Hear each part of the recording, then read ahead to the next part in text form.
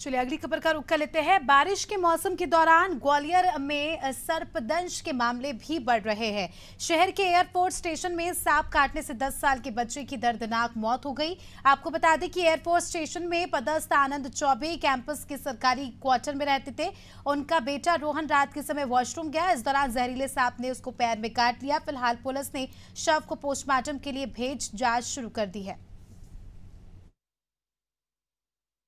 Air force station में इनके fathers आनंद चौबे जी, इनके बेटे को सर्पदंश से मौत होना प्रतीत हुई है। बाकी मौत की सही समीक्षा के लिए पीएम कराया है, पीएम करा के और सौ उसको सुपुर्द कर दिया, उसके पेरेंट आनंद चौबे जी को सुपुर्द कर दिया।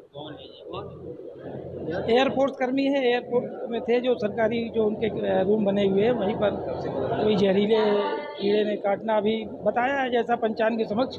बाकी बाद में जो भी होगा। कितने साल से ये वहाँ रह रहे हैं? अब ये जाँच की विषय मैं अभी अभी स्टेटमेंट लूँगा अभी।